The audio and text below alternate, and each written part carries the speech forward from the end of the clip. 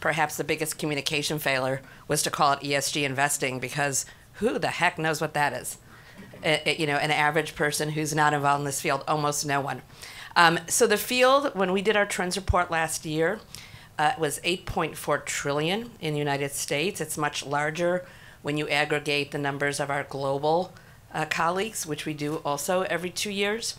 Um, and what we found in the trends report, and very relevant to this conference, is that for both asset managers and institutional investors, the number one issue that they looked at in terms of portfolio construction was climate change and carbon.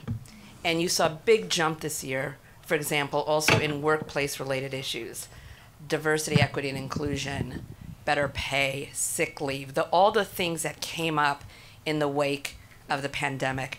And similarly, you started to see a much bigger focus or an interest in issues around police brutality, diversity, equity, and inclusion after the murder of George Floyd. So both of those, and you oftentimes see this in the field when there's a substantial issue happening in the US or globally, and it's not being managed by the policy process in particular, it oftentimes starts to show up in the investment process. Um, and so the strategies are two things. One is shareholder engagement, which some of you may be familiar with, how to use your ability as a shareholder to influence a company. And the other one is through what we call ESG incorporation. Uh, how do you incorporate ESG into the portfolio construction process? And that has five elements. It could be best in class, right? Best in class. Um, it could be negative screening. It could be sustainability themed investing. It could be impact investing. It could be ESG integration. I just want to note that as we talk about things like greenwashing, et cetera, I think uh, it deserves a conversation about ESG integration, which has become such a piece of sustainable investment, but probably the one most likely to get criticized for being too shallow. Can you explain what is? Whoa! Uh, now the mic is really on. Okay. Just say what it is. Oh, ESG integration. integration is when you basically do some sort of ESG overlay over a fund without saying in great specificity these are the issues that we look at in particular in a fund. So and presumption that somehow it's being integrated across decision making. Correct. And in the research in particular, right? In the research and data. And so that started to happen in like 2014. And then you just saw almost a ski slope going up of uh, investors who were using ESG integration, where before it used to be negative screening or positive screening. I think that's a, probably enough for an overview. Good. Yeah. Anything either of you would ask or uh, kind of respond to here? Is that a good starting point of a description of the of the domain?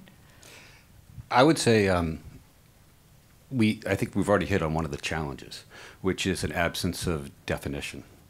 And this goes back to 2004 when ESG as a concept was created by um, a UN sub body of 18 investors, and they created this report called Who Cares Wins. And it's where ESG first shows up. And even in that report, um, they say intentionally they don't want to define the term specifically, and they use a number of different illustrations of what ESG investing might be. It could be a set of criteria for investment. It could be a series of objectives that drive towards sustainable development goals. It could be a way to ensure the um, delivery of the global compact. There's six different reasons that that report calls out one might engage in this kind of behavior. And because it's so well defined now, we have, as Lisa rightly said, um, wild confusion about what an ESG investment is from my perspective. It's not just the categories that she noted. Also, some people substitute words like sustainable investing and climate tech or sustainable investing and impact or ESG investing and negative screen. It is a mess in terms of what you read, I think, in uh, the press. And why that matters is the estimates of ESG investing, Stanford just put out a report, range from 715 billion to 120 trillion. You know, that would be like asking someone. But that's globally. Of course. Yeah. Okay. okay. But think about that range. It's like asking, you know, three people how big their house is, and one tells you it's uh, a thousand square feet, another says it's fifteen hundred square feet, and another one says it's you know a million square feet. There's just absolute order of magnitude delta. How can anything be effective if it's that ill defined? I'll give you one concrete example, and uh, um, just of how I think messy this is. The largest asset manager in the world is BlackRock. They've been probably the most aggressive in terms of creating ESG funds. They have over 200 ESG funds. On April 8th of 2022, they created a fund called the U.S. Global, no, U.S. Carbon Readiness Transition Fund. And they raised $1.25 billion in eight hours.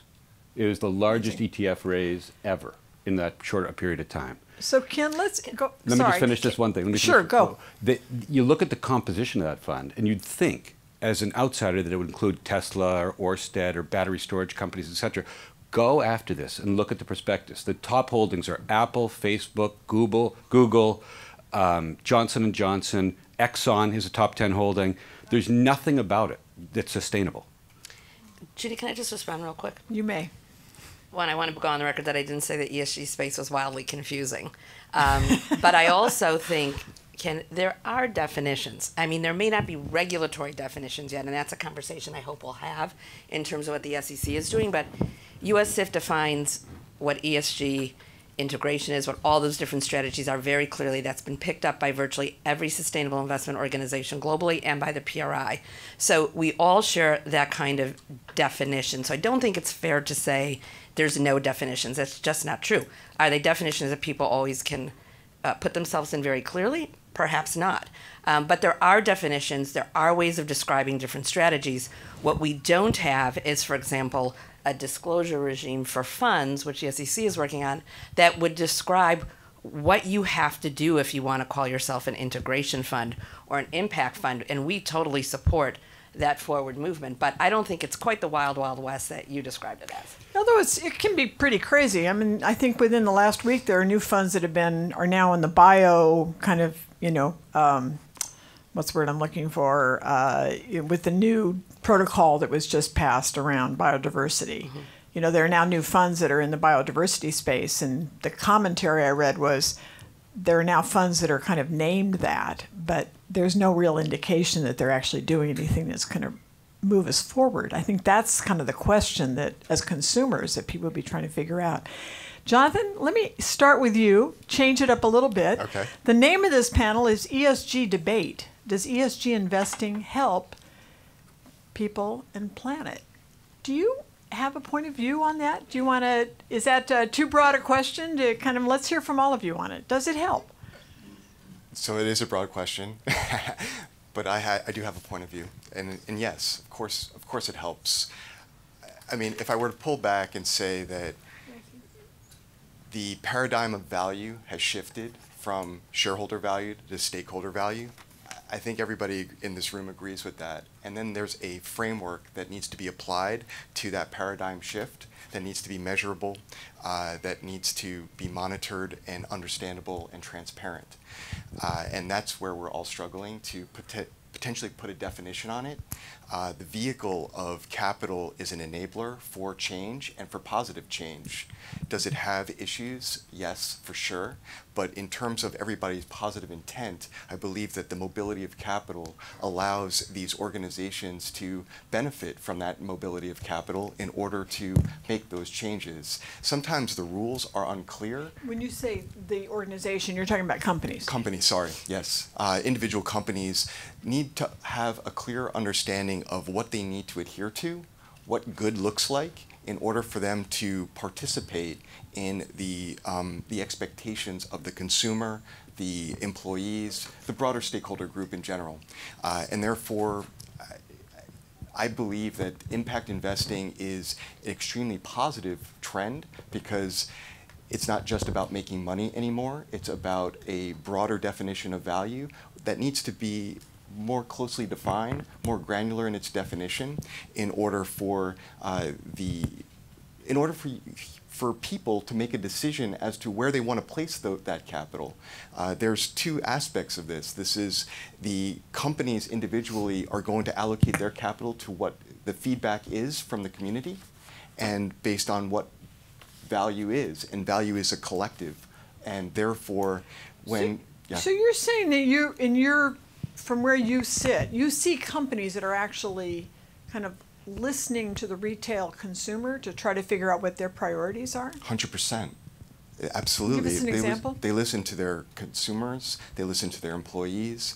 Uh, in terms of a, so a consumer, like a consumer. But make, you know, th- those are different than listening to a, ultimate investor. For sure. Listening to their employees is a very different craft than trying to figure out what's going on in the retail investment market. Yeah, for sure. So, um, for example, there is this exploration from companies that understand that their customers are looking for a, a greener product. I'm currently working with a pharmaceutical company um, that is evaluating the fact that they don't require cold chain in their in their logistics, and they want to promote that as a greener product than the than its alternatives, because all of those alternative products require cold chain in their in their process. So they are they want to promote that because if more market share is developed from that particular product, that would re- in turn reduce the market share of their competitors that do require that cold So chain. listening to their customers. So, yep. Right. Lisa, venture an opinion on whether this is all adding up to something, and we're, we're going to move on from there. Yeah, I don't think I would have stayed here 16 years if I didn't think it was adding up to something. I mean, I spent the first part of my career doing domestic social policy and the second part of my career doing human rights and international development. And I came here because when I came here, um, the, the field was called social responsible investing, and it really was the point of it was to make a difference in the world, particularly on climate at that point. Now, the field has changed in so many ways that my members now include sort of all the early adopters who came to the space very much to change the world. And there's still many uh, investors who are starting firms in order to do that across all asset classes, by the way.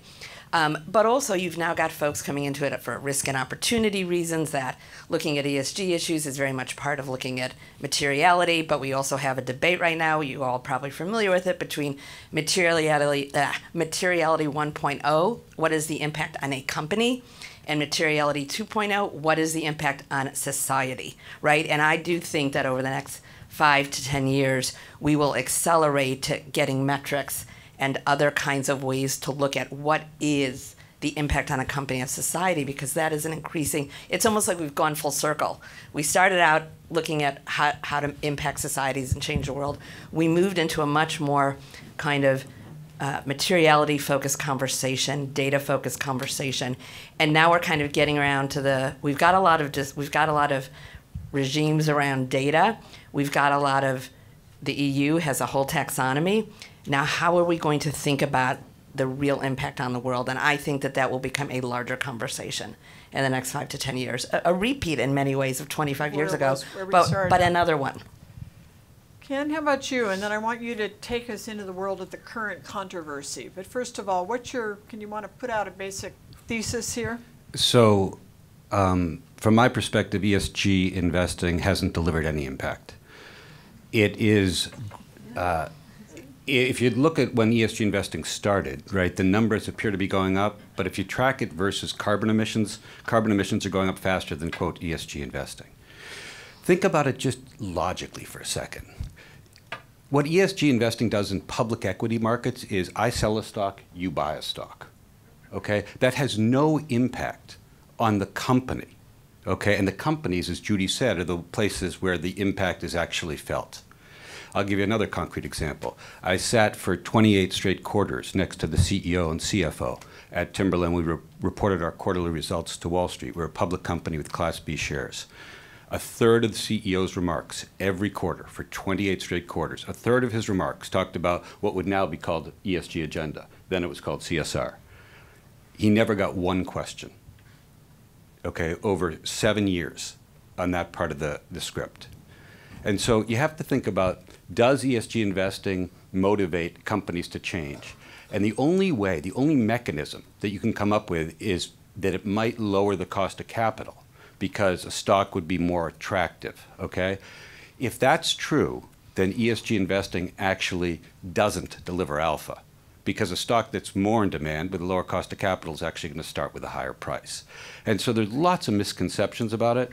I just want to read one thing, which is Henry Fernandez, who is the CEO of MSCI.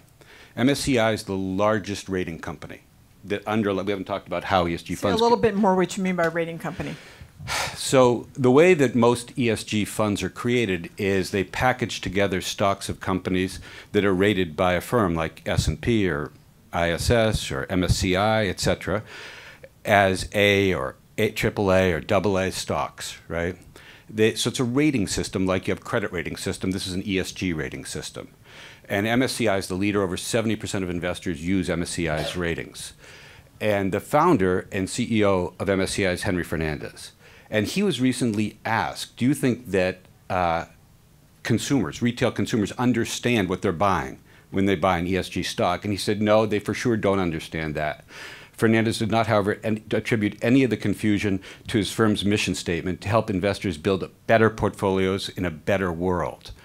So he's telling you that, he, that there's some impact associated with this. At the same time, that consumers, and he went on to say, institutional investors don't understand what these things are. They asked him why then it's so important, and he said something I thought was I couldn't believe he said this out loud. He said, "By the way, we're doing this ESG rating and investing to protect capitalism. Otherwise, government intervention is going to come. Socialist ideas are going to come." I mean, I'm not making this up. This is a Business Week article. So bef- before we move on from this point of kind of some of this kind of underlying controversy here, Ken, starting with you, take us into the other. So I, I like to say at the Aspen Institute, we're not a debating society. We may be debating points, but everybody up here is aiming to the same ends. We actually want to release the extraordinary capacity, global reach and distribution systems, talent, problem solving skills of the private sector for name your objective right? That is, we're all heading in that direction. No one is essentially denying that climate is important or anything. But what we have is three people that have very different experiences in terms of how they're going about it and different approaches to what they think will make a difference. But Judy, can I? But in this moment, we're also hearing this anti woke thing, which I just want to get that also in the room at the same time because that's also a big it's taking up a lot of noise in this domain. Lisa, do you want to go first on that, or I was going to ask yeah, Ken to I'm happy start to, out? I just wanted to just briefly respond to, to, to Ken because I think you just oversimplified the field just way too much. There certainly are things that the field of sustainable investing, which is a giant field. I mean, there's so many different asset classes involved in this space, from green bonds to the private markets to the public markets. And I don't think there. How many folks in this room work for firms or did work for firms that have done shareholder engagement? How many of you would say that had made no impact? Keep your hand up if you think it made no impact to do that. All the hands went down. So one of them went halfway up. Halfway up. So, but what I'm saying is that if you go back to 1975 and you look at what has happened to try to drive investments and companies towards greater sustainability, and I mean that across the whole ESG spectrum, you simply cannot say there's been no impact. What you might be able to say it is that it hasn't been as deep and as wide as we would like, but there's an entire field of ratings and organizations and investors and retail investors who can go into new platforms that wasn't there 25 years ago. And they do have an opportunity now to invest in really great funds that are doing this work, to invest with wealth managers who actually do this at a very, very successful and meaningful level that they didn't have before. So to say that there's no impact broadly, it has made no difference. I, I just don't think that's accurate or fair. But I, it would be fair. Go ahead, John. I was just going to pile on. Um, I think. pile on. Go ahead. Pile on. I, I, the, the comments that, that Ken made are, are, are fascinating to me. And I, I guess what I would want to understand deeper is capital mobility is an enabler of behavior. And if capital is not available to help shape and influence behavior, um, I, I think there's a huge gap in terms of the efficacy of the mission that these companies are undergoing. If they don't have the capital, if they have great intentions, but they don't have the capital in order to employ those intentions, or don't know the rules of the game in order to prove out the, um, the criteria that shows what success looks like, uh, it, it, creates a dynamic that is very challenging to navigate. Uh, and therefore, the, the fact, if, if we were to su suggest that, that there were no ESG funds or that impact investing was no longer available, uh, what capital is going to be available to these companies that ultimately would like to engage in Well, these in, activities? in, in defense of Ken, who never needs a defender, by the way, I will say that, the, the capital doesn't reach the company. I mean, the stock market is an aftermarket. So- I sell to you, you sold to somebody else, may influence the, the value of the stock price, but they got their money at the IPO. It's not an inflow to the company if the stock price goes up, There- it and it's not an outflow if the stock, if the stock price goes down. So having been a expert in capital markets for 20 plus years, um, I'm just going to maybe adjust some of those comments. Inf- inflow inflow of, of, of capital into a stock is stock appreciation that falls to your, your retained earnings uh, to your to your equity bottom line so market value invested capital is a measure of wealth and growth uh, for a company that is leverageable from a balance sheet perspective. Uh, that is capital that is available to an organization to deploy. Capital allocation is based on the good allocation of capital uh, and the appreciation of investors to understand how that capital is deployed. So, return on investment, uh, market value of invested capital are complete measures of growth and success. So when an organiza- when an investor or an institutional investor decides to spend more money on a particular stock, that actually creates more more uh, capital for that organization to deploy for whatever purpose they want to deploy.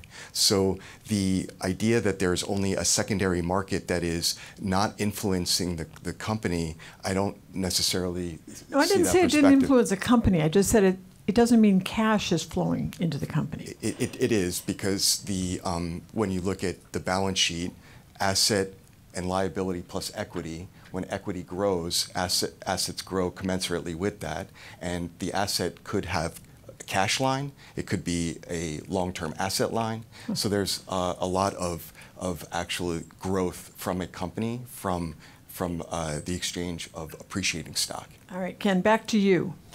So I'll just add a couple of things. One is, um, And do take us into the current controversy at- okay. by the end. first is I, I want to touch on measurement, and I want to touch on why this has, from my perspective, grown so much over the uh, 25-year run. In terms of measurement, um, Judy, you started by mentioning that SIF, US SIF, just recast the size of the market, and literally the recasting was from I think it was 17 billion to 8.5 billion. Trillion.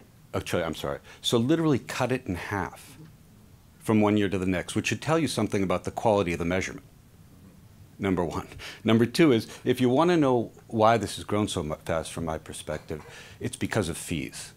Okay, this is fees. Fees. Okay, fees on ESG funds are typically on average 30 to 40 percent higher than on traditional funds. And why this is important is because the asset management industry as a whole's margins were compressing. They compressed by 460 basis points, according to BCG, over the prior five years. And so ESG investing, which is traditional investing with the veneer of green, okay, carries higher fees because investors are interested in actually deploying capital in a way that would influence outcomes. It's just I don't think this is the right mechanism to do it. Like Judy said, I would like this not to be the case. Like I hope I'm really wrong, okay? Because we do need trillions of dollars of capital deployed to solve social environmental challenges. But if you look at that category of investment, called climate transition funding, which I think is legitimate, important, real, essential. Okay, this year it topped $1 trillion.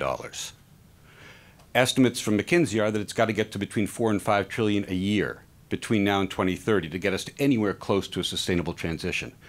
That is totally different than ESG. And I think people confuse that. Climate transition funds are funds invested in things like EVs and renewables and battery tech and ag tech and things like that that are required to influence a safe transition. And can the typical retail investor get into one of those funds?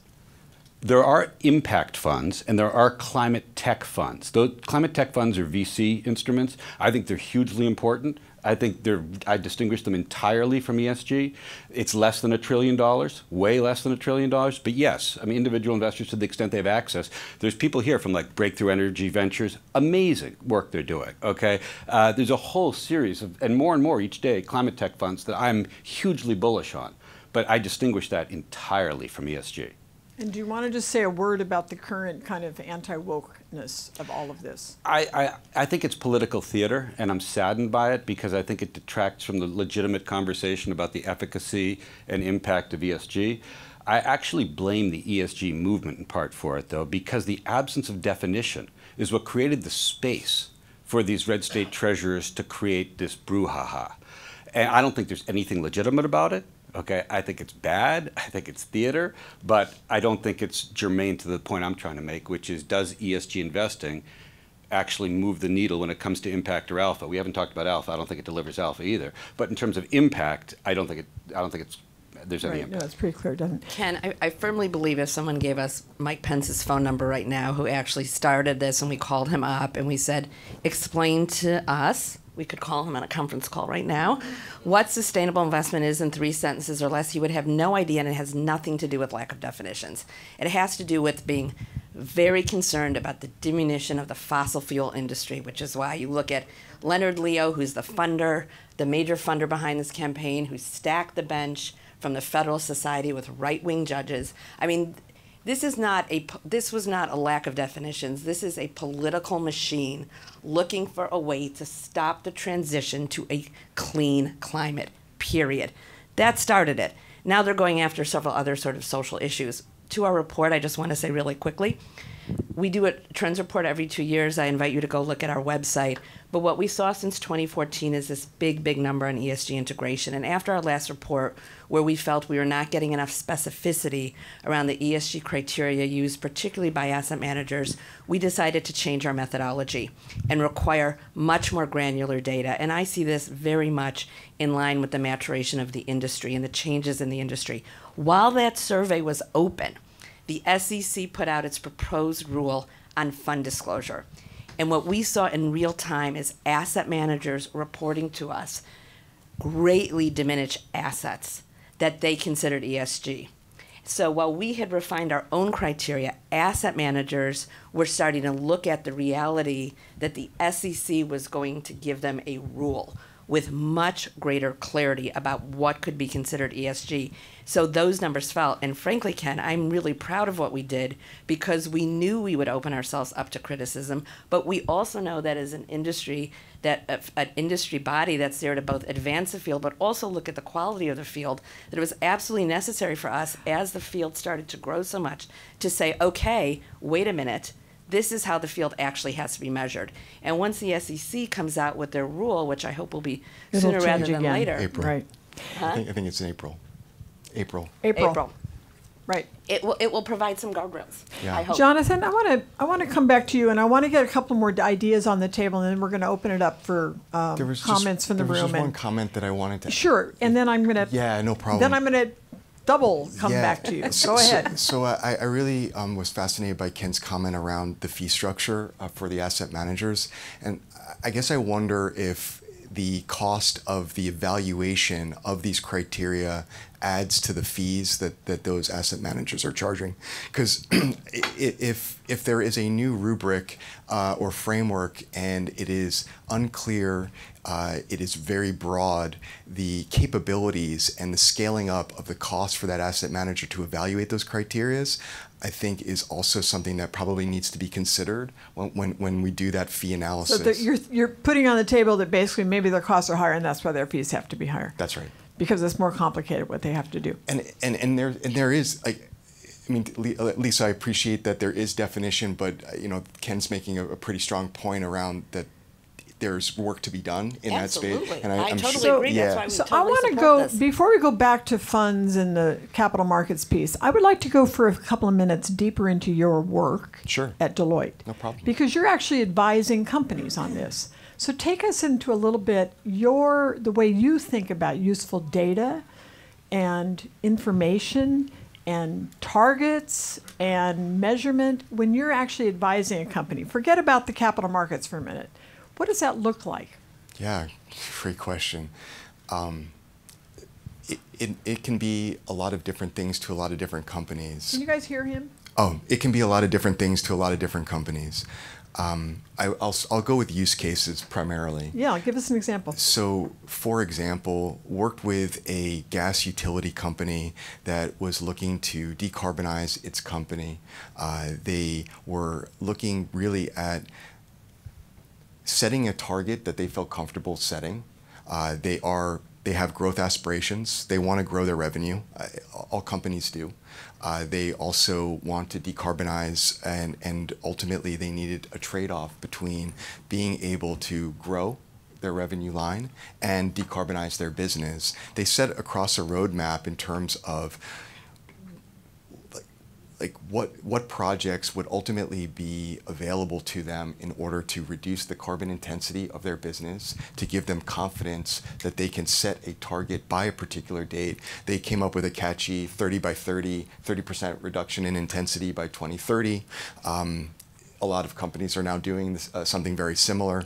Uh, they are developing very granular, on the ground roadmaps. The gas utility in this example was evaluating whether they should electrify the pipeline, whether they should use heat capture technology, whether they should use their traditional offset uh, portfolio in order to decarbonize, and how effective they can act, create the biggest impact in decarbonizing their business and what capital cost it was going to, to, to be to, to deliver on that, that target.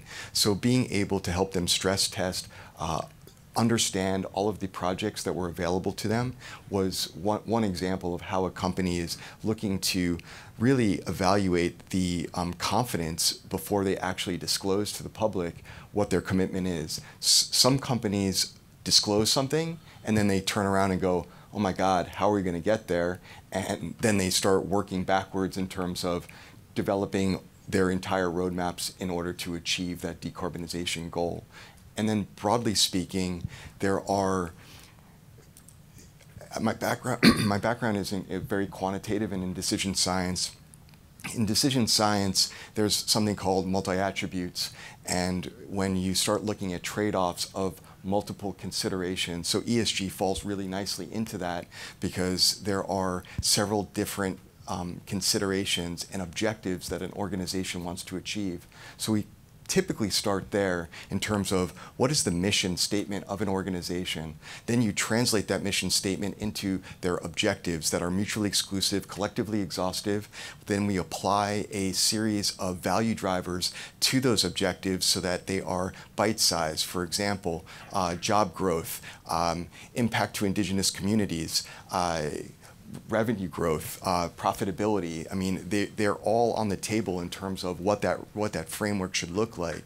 And then what metrics can help you measure how far you can push on those value drivers to show success and then ultimately monitor. And then you go through a data exercise in terms of what data is available, where should we start, and where are the gaps in terms of what data is not available, what right. praxis should we develop in order to, to so, move forward. So very different than what we're talking about in capital markets. I, one of my favorite quotes is on above my desk at home from a guy named Jerry Muller who wrote a book called The Tyranny of Metrics.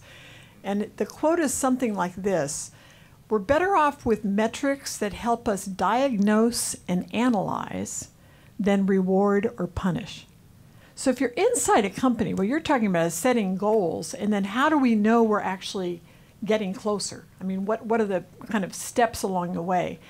If you think about when you're advising someone, however, in terms of the investor relations piece of this, speaking not to consumers, not to employees, but speaking to the ultimate kind of investor, does this translate?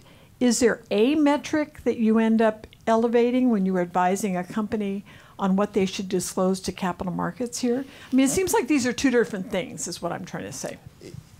They, they are, but they're connected. What I, what I would argue is that the investor community, institutional, retail, retail represents consumers, the institution represents the institutional money and the capital deployment available. They are going to help drive behavior and define strategy. Any good company is going to understand the feedback loop between what capital is available to them and, and their behaviors in order to get rewarded for, for that capital. Therefore, they're going to shape their strategy to ultimately reflect what the community wants. Therefore, the the metrics that a lot of organizations start developing is, well, what is our strategic intent? How do we translate that, that strategy? How do we measure that strategy? How do we monitor that strategy?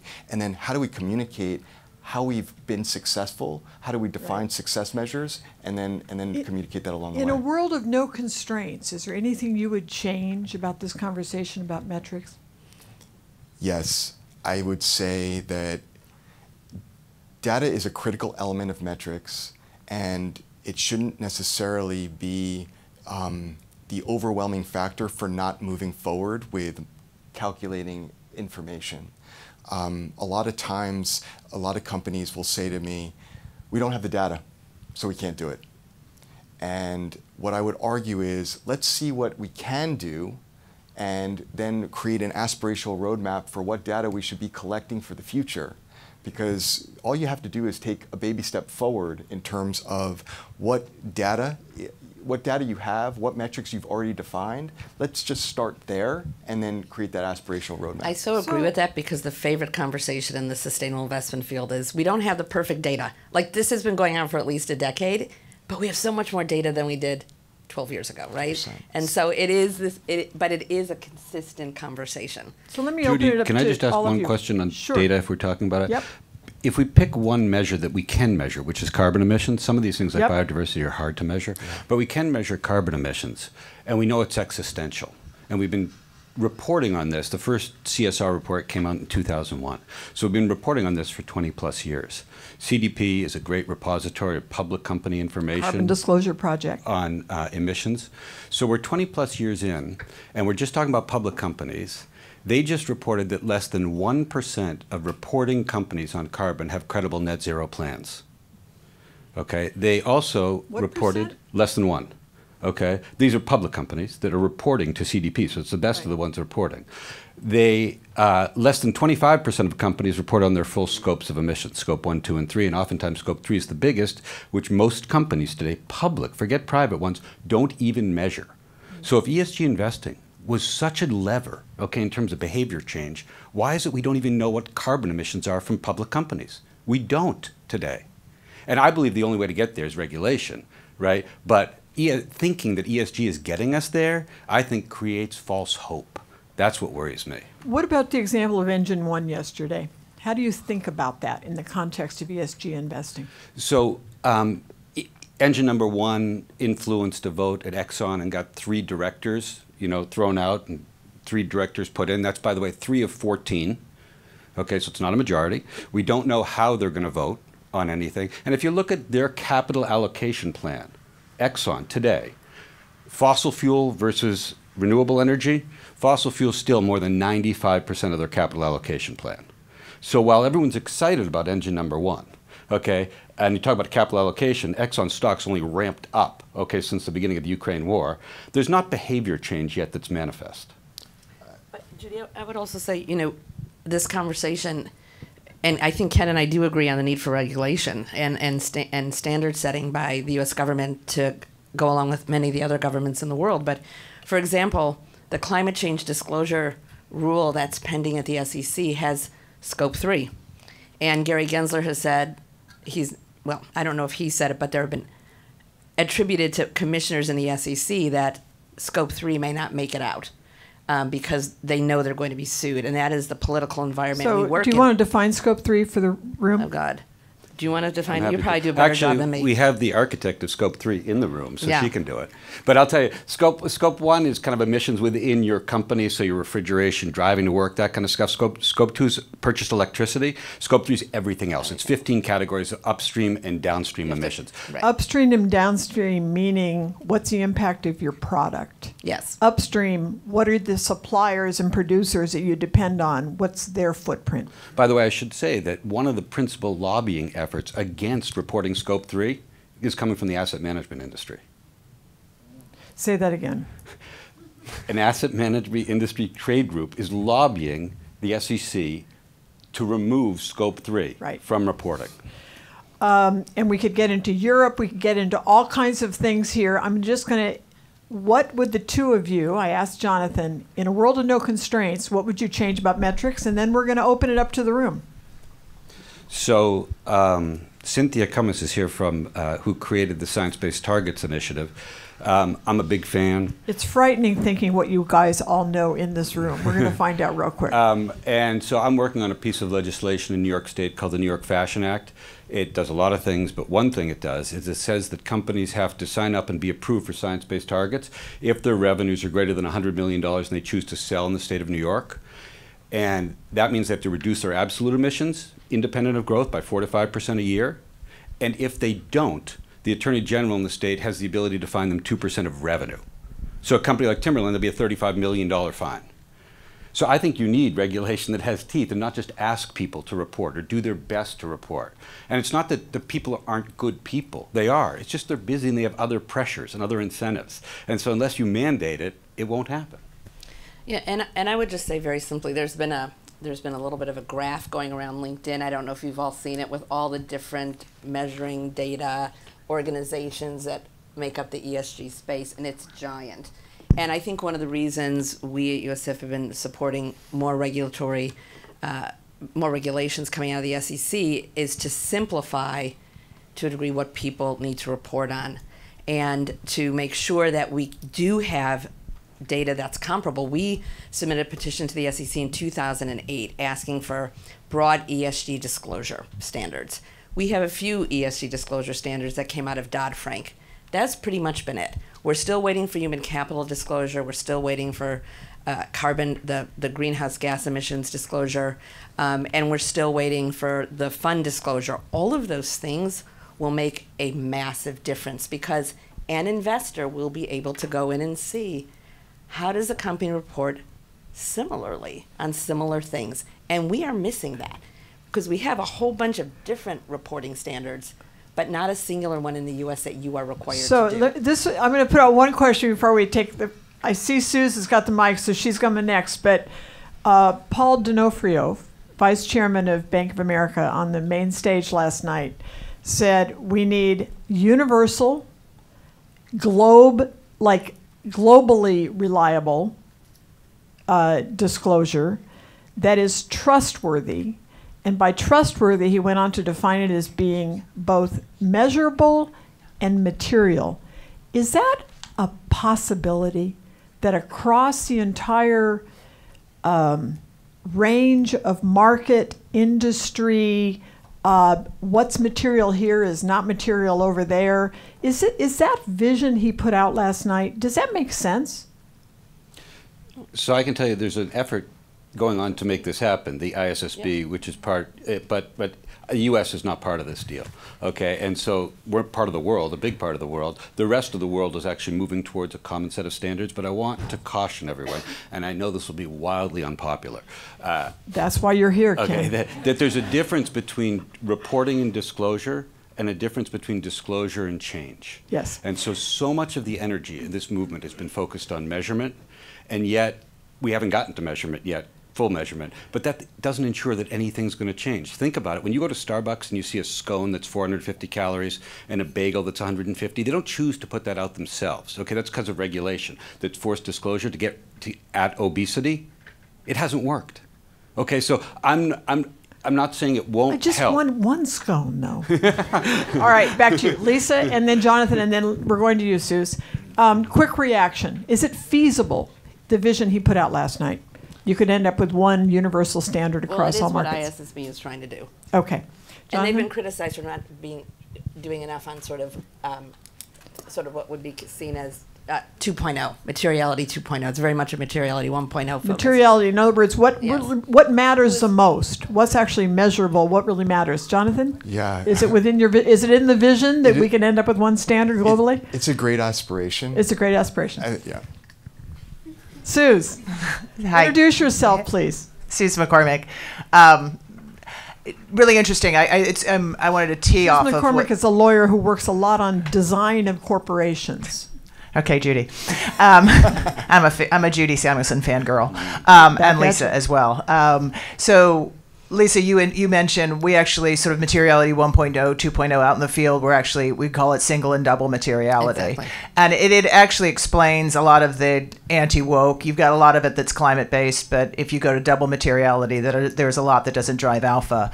My my issue and question is you do have now two arising sets of regulations. One in the U.S., which even if the SEC rules pass, are single materiality disclosure on down, FTC, DOJ, and you've got the EU and the rest of the world that is embracing regulatorily double materiality. And that's a huge issue for companies. And the second thing I wanted to go back to Ken, who has mentioned alpha, and I feel like Pavlov's dog several times.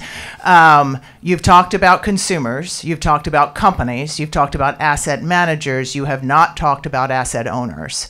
And ESG at the asset owner level understanding with the shareholder commons that for climate, if individual companies drive for alpha, all of their returns will be reduced. So- and so that I just wanted to I wanted Suze, Ken to react to describe that. what an asset owner is versus an asset manager, please. They're the people with the actual money, not the managers who are making all their money. I agree with Ken on the ESG ESG fees.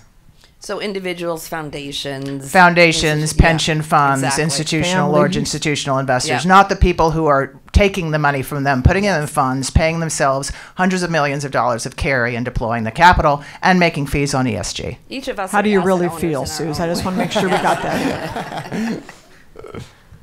um, question, comment, reaction? So one comment, if you do want to talk about alpha for a second, which as Judy said is market outperformance. One of the theses that uh, that's peddled by uh, ESG funds, asset managers, is that if you invest in these ESG funds, you'll make more money than a traditional fund. And the research that's most cited to back that up was a report done by a Harvard professor that says there's actually 600 basis points of outperformance available for anyone in the asset industry. You know, 10 basis points would be a lot. 600 is incredible by focusing on material ESG factors when investing. Okay, there's a paper that just came out that actually deconstructed the original paper that George put out, and it looked at this thing called the Garden of Fork Paths. Meaning, when you make do any research, you're making choices along the way about what time period, what data set, how to clean the data set, etc. There were 400 potential paths that the researchers could have chosen. And so these other researchers looked at all 400. And they found out that the original result that these other researchers found adhered in less than 2% of the cases. And then if you look at all 400, average returns were actually negative relative to traditional funds. So what does that say? What do you what what do you say It to says people that in to this me, room? th- look, another example which is probably simpler is Vanguard's largest ESG fund is 0.9984 correlated with the S&P 500. That means they're investing in the same thing as the S&P 500. You're not going to beat the S&P 500 if you're 0.9984 correlated.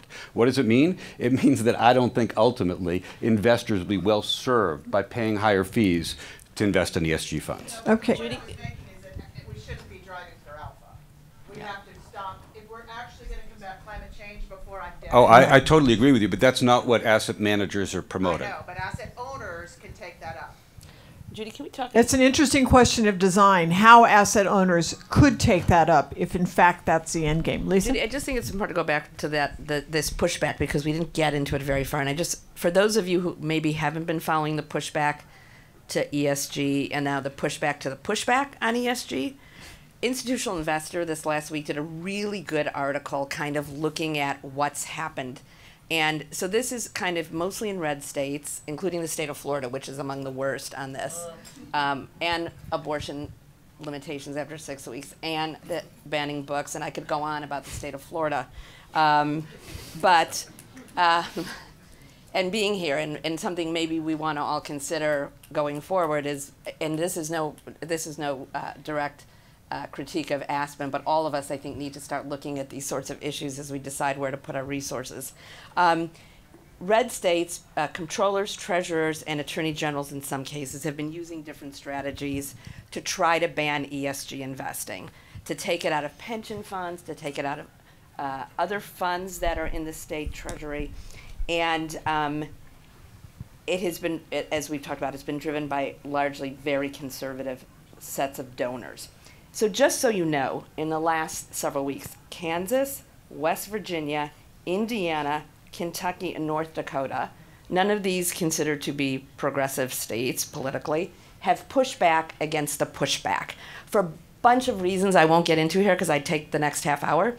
But they're basically saying this is a bad decision and a violation of fiduciary duty. In other And- words, they're saying you should be able to consider these things. Right, In and fact, that's- your and in fact- may be doing worse if exactly. you limit it. And in fact, the DOL rule on ERISA governed plans that says you may consider, believe me, there are a lot of people who'd like it to say you must consider. All right, let's but get- let's may is different, and that's being they're being sued on that. Can, can I just, uh, uh, s- s- Yeah. I just wanted to um, address the alpha comment, um, the alpha question. I know it wasn't directed at me, but I do have a bit of a point of view on that.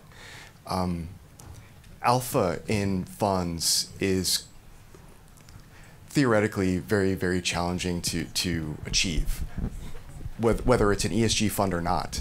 Uh, and the asset owners, depending on their level of sophistication, have other tools to measure what success would look like.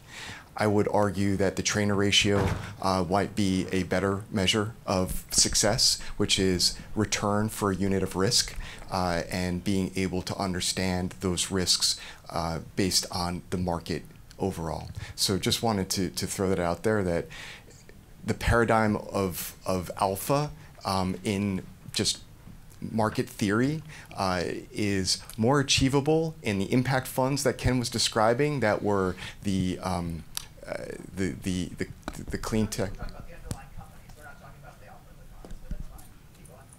I'm, I'm sorry? Go ahead.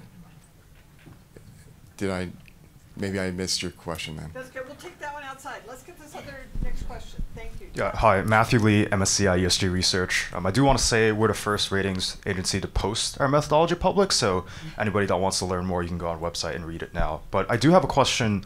Um, I think this is really interesting to say climate and ESG being separate. Um, I wanted to get the reaction of the panel to the merits of that approach as well as the risks, right? Separate. Just say. Oh yeah, so I think uh, Professor Pucker raised that we might need to have funds specifically for climate investing to optimize climate goals, and I wonder, given that at this panel we've heard uh, at Aspen we've heard so much about you know social risks and other environmental risks that come with trying to extract more minerals and whatnot, would that be something that we might miss and a more riskier behavior if we use climate exclusive funds? So, Ken, can Yeah. you, does it I, I wasn't. I, risk if you just focus on climate? The Economist came out with a piece that was 40 pages long looking at ESG investing, and their recommendation was actually to do what you're suggesting, which is split the E off from the S from the G and create funds that way. I'm not talking about that. When I talk about climate transition funds, I'm talking about instruments that are more like blended finance, okay, and you know, public-private partnerships and climate tech investing. If someone wants to start a fund that's a climate fund, no problem. They should just make sure that the equities held in that fund are legitimate equities that are about addressing climate change. Okay. Um, right here, please. And then you're going to pass the mic forward, and I see another hand. Yeah, Oh, back here. Please, you're next. Um, so my name is Andres Duran. I'm from Rutgers University, and I do a lot of research specifically on incentivizing the climate change movement. And I think that there's a population of individuals that believe that it's sustainability versus capitalism, and that capitalism is why we are where we are today. Um, that leads me to my question of do you, you know in this debate would you say that people are missing the value proposition of ESG it's not necessarily about ESG but the value that it can bring to economies across the world sustainably Do you follow the question? I, I, maybe I could just take this from a retail perspective in, in a way because. Um, oh, sorry. Um, and, and that's that. Uh, one of my little pet I'm peeves is her decide who's asking a question. what? Well, Judy, So am I supposed to be answering or no? Yes. Okay. Um, I think most Americans are financially illiterate. I mean, you get out of high school, there are, are very few states that require even like a three week course on the difference between a stock and a bond and how to create a budget. I know I had to teach my kids myself on basic financial things. And so when you start to think about how a person who's not involved in financial services or doesn't know somebody who is, and probably doesn't look at their retirement plan once they set it for the next 20 years, they know so little about financial services. And let us be clear the financial services industry speaks in the most obfuscating language possible so that you cannot understand what they are saying. And at every one of my conferences, they say, please speak in plain English. It would help people understand what you do. So you add sustainable investment on top of that. It doesn't make it more complicated, but it just means that you're taking a basic level of not understanding finance because you've never been taught it and adding another level. So, of course, I think sustainable investing adds value. I just think that for a lot of people, they don't have a very good entree point into the financial services industry, let alone this field, and we should think about that. So, Thank you guys for thank you guys for such an interesting panel. It's been maybe one of my favorites because we've had such conflicting ideas here. Um, it seems like you all have had very successful careers. I'm guessing maybe you own an asset or two. How do you think about ESG within your own personal investment strategies? Or don't? I don't. So that's, uh, let me just start with that. I don't think, personally, I'm not so sure. I mean, I'm an indexer, right? It doesn't make much difference, is where I would say. does Aspen have sustainable funds in your retirement plan? I'm trying to figure it out. Uh, yes, we do, actually. You do? Yes, Okay. we do. Respond to. We have Go two. ahead. Uh, you guys, quick, quick Um, answers to how you think about it personally? So when it comes to money in Deloitte, it's really complicated. So I'm precluded from a lot of different investments. Um, so Good and bad investments, or they just keep you out of the bad ones? My thing. they, yeah, there's just a lot of independence issues. So I'm, I, I don't necessarily. Yeah, I'm an indexer as well. Yeah, there's Sure. So our, our retirement plan at US SIF is in Social K. We have a lot of uh, sustainable investment options in there to choose from.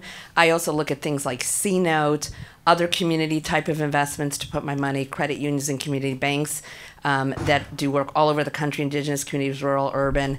Um, and then I, when I invest in stocks individually, I'm looking at for at companies that are, you know, hopefully best in class to the degree that you can figure it out using Morningstar and other things. Yeah.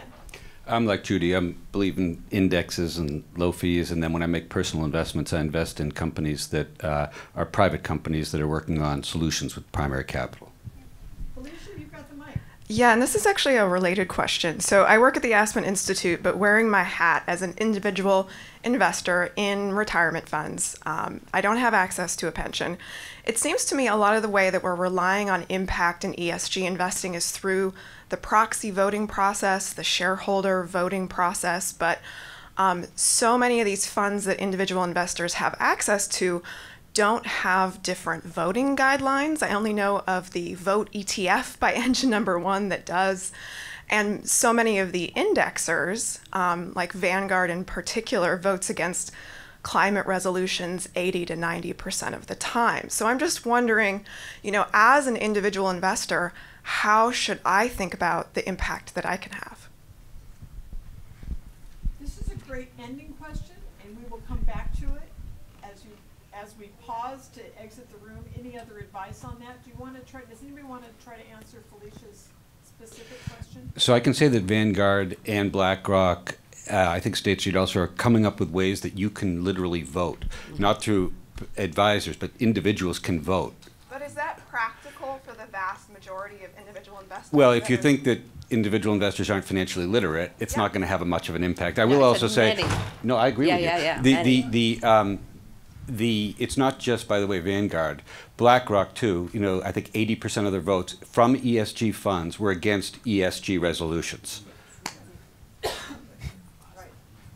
Um, it- Can you hand the mic back, Ingrid, behind you? I'm sorry.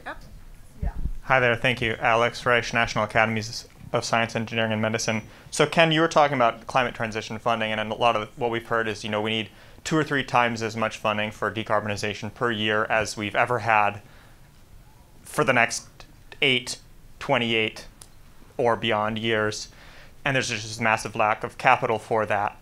And ignoring the sort of, we need to figure out transmission and we need to figure out all, you know, a lot of these other technical things if ESG is, as you've described, not necessarily getting us there, and this kind of mobilizing capital to facilitate this climate transition or transformation, as the Bank of America fellow said yesterday, is what we need.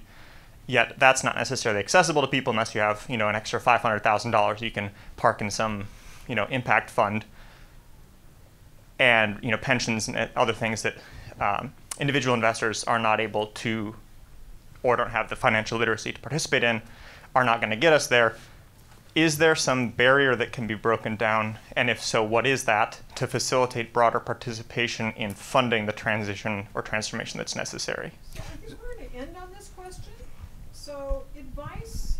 Well, I think in the in a panel next door that was excellent on plastic, someone made a distinction between consumers and citizens, and I think the answer is citizenry. Okay, look at what this administration has done. Inflation Reduction Act alone. Okay, removal of the president of the World Bank. Okay, to force more blended finance on climate. That's the most impactful thing that's happened on climate in my lifetime. Is as a result of the shift in administrations and having an administration that actually acknowledges science, and that's where I would put my energy. How would that. Yeah, no, no, vote and convince others. I mean, this is an important, I mean, it's an existential issue. And so to me, that's the highest leverage point. And states, states can do a lot on this as well. So push good governors, good people to run the environmental agencies, things like that. Lisa, in a world of complexity here, what do you advise people in this room as investors? um, educate yourself. I mean, that, that's where I would start. I mean, we've got a website that's got all of our members uh, listed in their funds. We, we have a website that talks about the different ways to uh, a retail investment guide. It's free. We also have a course, 30 minutes for retail investors to introduce the field. So I would take advantage of these free opportunities to just educate yourself and go from there. I don't think there's a one size fits all approach to anyone in the room, but I think to understand that there are accessible options for all of you in different asset classes that will move you along a climate or broader ESG spectrum. Um, and just start that journey if you haven't already. And and ask your employer, why don't we have any sustainable funds in our plan if you don't?